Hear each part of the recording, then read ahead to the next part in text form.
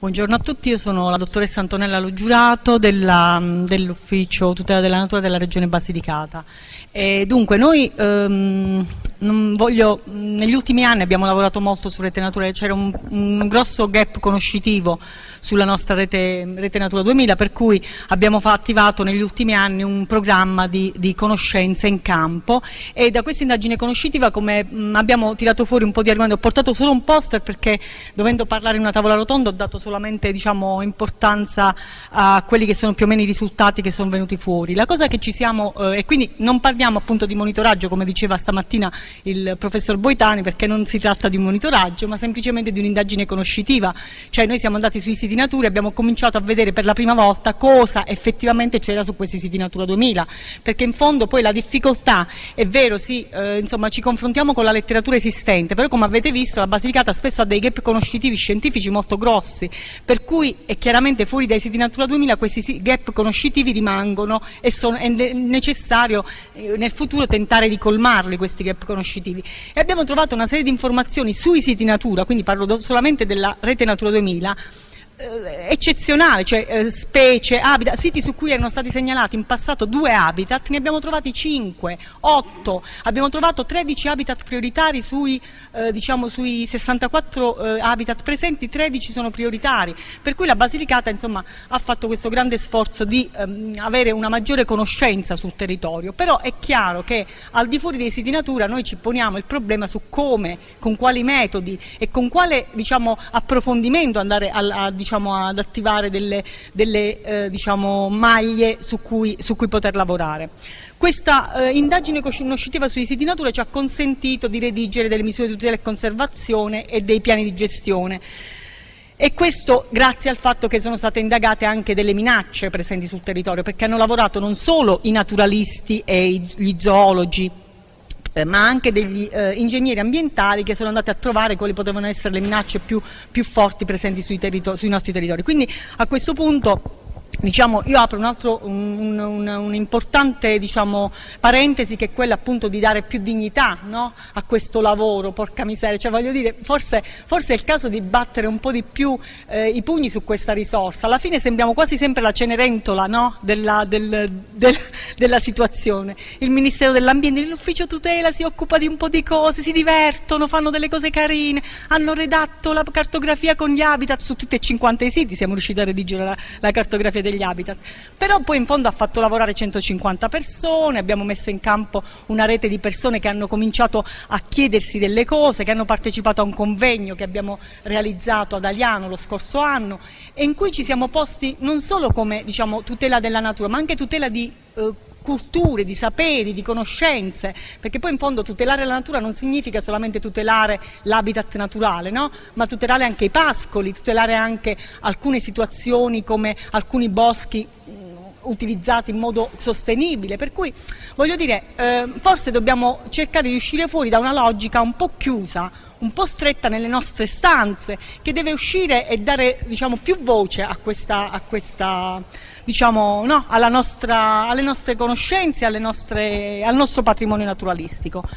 Chiaramente la Regione Basilicata si è posta il problema di come far funzionare il dopo Intanto abbiamo eh, la scorsa settimana eh, stabilito quali sono eh, gli, enti, gli, enti, gestori. Con una delibera di giunta, cioè il Ministero ci chiedeva con il decreto ministeriale di stabilire chi gestiva le 20 ZSC che siamo riusciti a, a designare e quindi siamo riusciti a capire chi dovrebbe gestire queste aree. E questo ci consentirà con un nuovo progetto che abbiamo messo in campo, una task force regionale, di cercare di inserire all'interno della pianificazione diciamo, di sistema, cioè delle varie amministrazioni pubbliche, delle, dei piani dei parchi, tutte le misure di conservazione che noi abbiamo stabilito e redatto per le nostre ZSC. Questo, questo, progetto si chiama Green Hub, è un progetto in cui lavorano um, una task force di 20 ragazzi che saranno sul territorio a lavorare con le amministrazioni pubbliche per far sì che queste misure di tutela e conservazione siano effettivamente inserite negli strumenti di pianificazione che poi sono praticamente stringenti. E, um, Chiaramente però eh, ci siamo anche posti il problema di come deve funzionare il, tutto il resto del territorio, per cui abbiamo dal 2008 uno schema di rete ecologica uno schema di rete ecologica regionale, su cui abbiamo eh, da qualche tempo, da quando l'ISPRE ci ha messo a disposizione Carta della Natura, abbiamo, stiamo cercando di, eh, diciamo, di, far dialogare le due, le, i due tipi di informazione e quindi cercare di approfondire lo schema di rete ecologica regionale anche con, dialogando con le province, con i comuni, affinché ci sia un maggior dettaglio sul territorio su quella che è la, proprio la biodiversità presente in Basilicata. Chiaramente c'è un, un, gap, che eh, questo lo dico chiaramente al Ministero, ma anche livello, eh, ieri il dottor Dupré parlava di una legge sulla biodiversità, una legge quadro sulla biodiversità, sarebbe effettivamente diciamo, un'esigenza penso di, tutti, di, tutte le regioni, cioè capire come dobbiamo eh, normare queste attività che sono al di fuori dei siti Natura 2000, perché poi il, PS, il collega del PSR mi chiede scusa ma io come faccio a dare dei, dei, dei, dei fondi agli, eh, agli, agricoltori che sono al di fuori della rete, come faccio a stabilire qual è l'area di contiguità, quindi ci sono dei gap in, importanti che che forse possono essere risolti con una normativa nazionale che chiaramente va, eh, norma, va a normare anche le aree che sono al di fuori di Rete Natura 2000.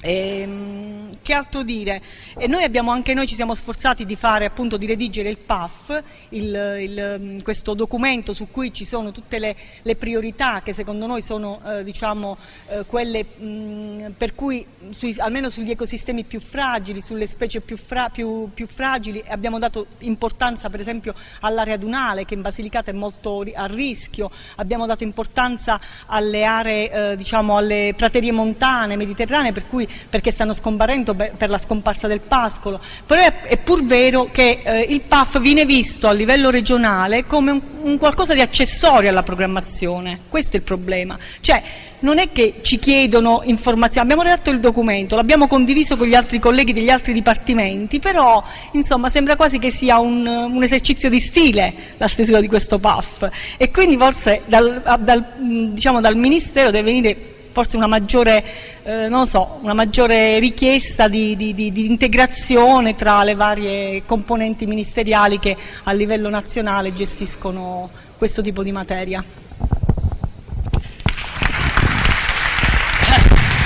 Grazie mille. No, io sono, devo dire, mi fa molto piacere che anche se il tempo di questa discussione è più contratto rispetto al resto, siate riusciti a evidenziare tanti punti essenziali e critici che vanno affrontati. E noi non, non, abbiamo tutti evidenziato, ma forse non abbastanza, l'enorme lavoro fatto dalle regioni che non ci aspettavamo noi tecnici, cioè la gran parte dei dati del rapporto nasce da un lavoro pluriennale fatto dalle regioni. Io credo che va invitato tutto il mondo accademico e scientifico, di cui facciamo parte anche noi, a non vedere più le regioni come eh, la, la risorsa a cui attingere. In realtà le regioni sono eh, dei data providers, cioè ci danno le informazioni che sono essenziali, eh, hanno un compito spesso di indirizzo e guida sulle attività di, di, raccolta dati e di conservazione che va riconosciuto e eh, accetto la critica come coordinatore di questo progetto del fatto che i tavoli tecnici che ci eravamo impegnati ad attivare sono stati un punto carente di questo progetto e vanno rafforzati come ISPRA ci impegniamo a fare la nostra parte, insomma come ho detto più volte il progetto è stato molto più complesso di quanto pensassimo e ci siamo trovati con tempi molto stretti.